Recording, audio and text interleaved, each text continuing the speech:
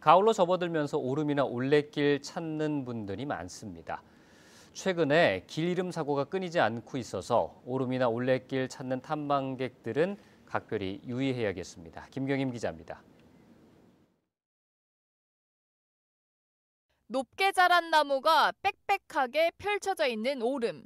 나무 사이에 바람막이 차림의 탐방객들이 이러지도 저러지도 못한 채 서 있습니다. 하늘에 있는 드론을 발견하고는 이내 손을 흔듭니다.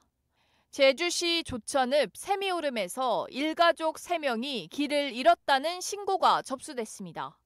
가족들이 함께 양하를 구하러 갔다가 풀숲이 우거지면서 길을 잃은 겁니다.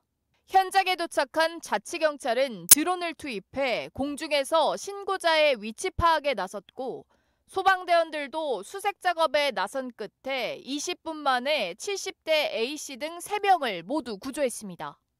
지난 8일에는 제주 곶자왈 도립공원에서 길을 잃은 20대 탐방객이 소방 구급대원들에 의해 발견되기도 했습니다. 최근 가을에 접어들며 오름이나 올레길 등을 찾는 사람들이 늘어나면서 길 잃음 사고가 잇따르고 있습니다.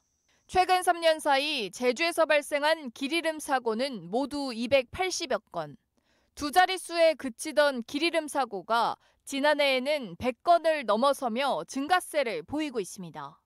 특히 오름이나 올레길, 둘레길을 탐방하다 길을 잃는 경우가 모두 175건으로 전체 사고의 62.5%를 차지했습니다. 길 잃음 사고를 예방하기 위해서는 오름이나 둘레길을 갈 때 여러 사람이 함께 하는 것이 좋습니다. 휴대전화 배터리는 충분히 충전하고 만일의 상황에 대비해 GPS 기능을 켜두는 것도 도움됩니다. 가급적 밝은 옷을 입고 되도록 해가 지는 늦은 시간에는 탐방을 삼가야 합니다. 산행을 하시기 전에 주변 분들에게 알리시는 게 제일 중요합니다. 어, 일정 시간 이상 지나서 귀가 못 하시는 경우에는 주변 분들에서 신고하시는 경우도 덜어 있어서 그렇게 주변 분들을 알려주시는 것도 되게 중요하고요.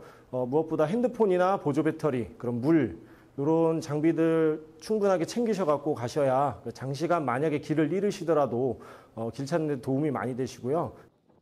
만약 길을 잃었다면 호루라기를 불거나 큰 소리로 자신의 위치를 알려 주변에 도움을 요청해야 합니다.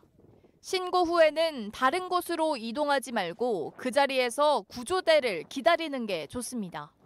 조금씩 날씨가 선선해지면서 오름과 올레길에 사람들이 늘어가는 요즘.